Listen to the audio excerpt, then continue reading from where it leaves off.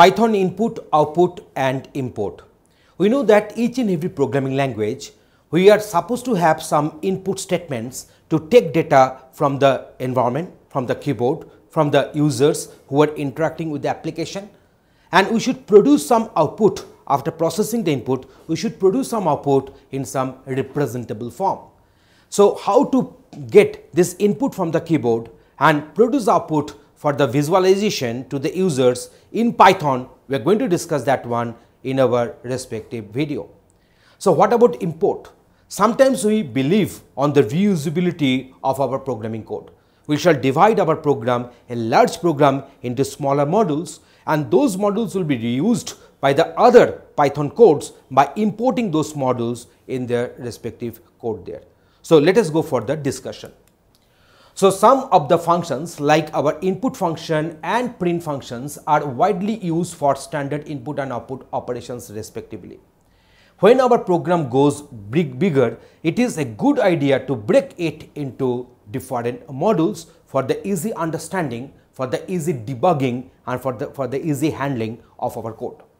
For the ease of program development, definitions inside a module can be imported to another module or the interactive interpreter in Python. And we use the import keyword to import that external module to the current code. So, to have a better idea, let us go for one practical demonstration where we shall be showing you that how to take inputs, how to put the outputs on the screen and how we are going to import our modules in our current code. So, here is the demonstration for you. We are going to discuss the print function and its usage. To print a sentence or to print a variable value on the screen, we use the method print. So print this sentence is output to the screen here. So if I go for the execution, you can find that this sentence is output to the screen. A is equal to 5 and here we are writing the value of A is equal to A. So now this 5 has got printed. And if we go for this print 1, 2, 3, 4, so print is producing the outcome as 1, 2, 3, 4 in this way.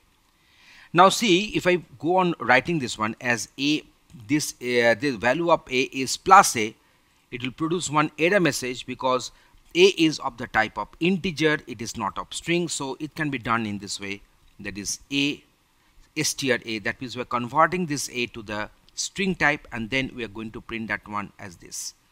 So that is another way to print the same. Otherwise the simple syntax is this one this is a simple syntax. You can find that this print and this print, they are coming and the outcome is coming in the two separate rows. But if I want to print this one with in the same row in which it got printed, in that case I shall have to write here is equal to end is equal to this. That means the string which is having one default slash n that is a new line character as the as the trailing new line character by default. So I'm just replacing that one using null so now what will happen these two lines will get printed in the same row. So now if I put this one as this so you can find that the outcome is coming something like this one. Otherwise if you don't mention any end here then they will get printed in separate lines. Now print 1 2 3 4 and separated here is star. So print 1 2 3 4 separated here is star so it will print as 1 start 2 start 3 start 4 and this way. So here we have given the separator. If you give the separator as comma, if you give the separator as comma, you see that they will get separated by this comma and blank space if it is so. So they will get separated in this way. So separated is actually indicating that who will be what character you are supposed to get within the within the variables or the values going to get printed using the print statement.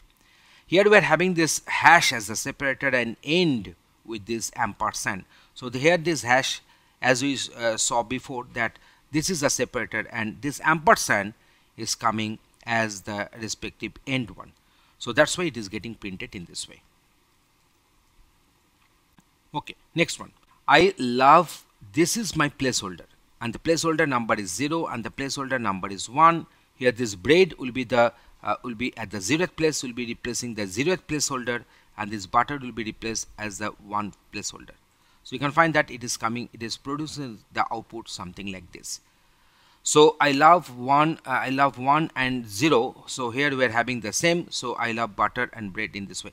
It is by default it will be taking this one. Need not to mention any kind of placeholder here. So you can find that both the strings are getting printed accordingly. Here we have passed this uh, bread at first then butter. So bread is coming down here and butter is coming down here so now here you see this is my bread. So this bread is at the zeroth place so it will be coming down here. And butter is the is the first. So if it is at the zeroth place it is at the index 1 so this here the butter will be coming here accordingly. So you can find that how these respective placeholders and the respective values are getting related in this way. So we can get the idea that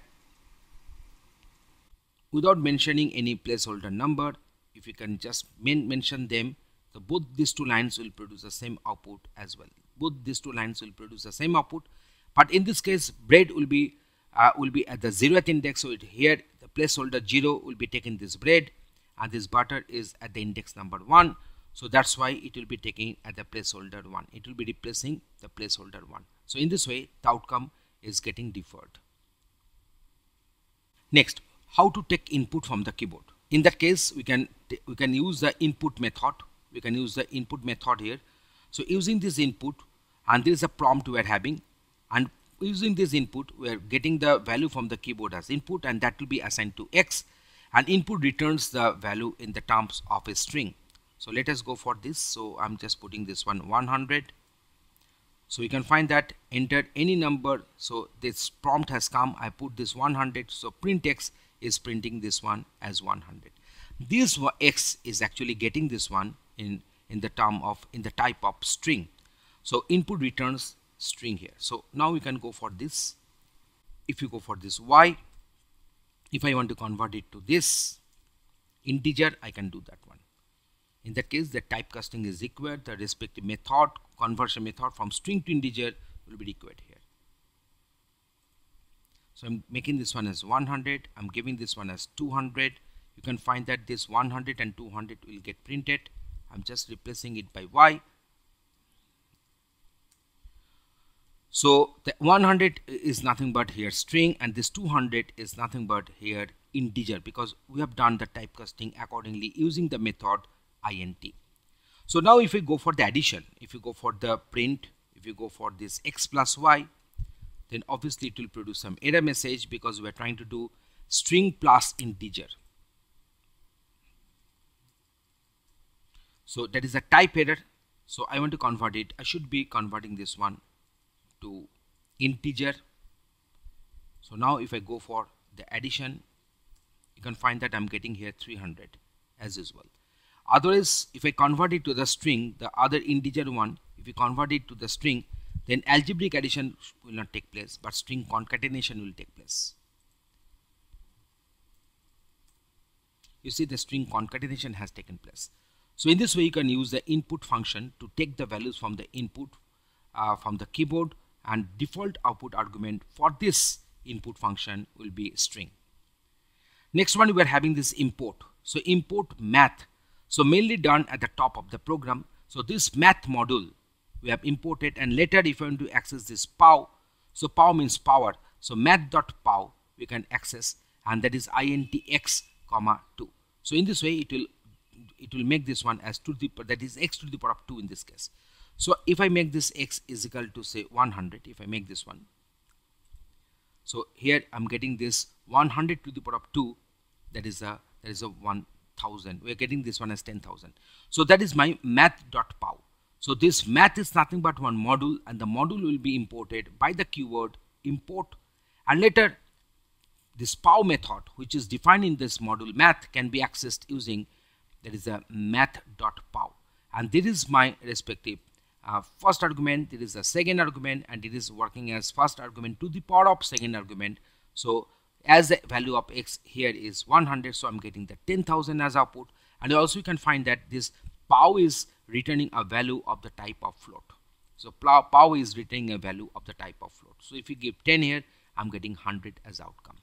So here we have discussed a lot on this print on this input and also on this import. Thanks for watching this video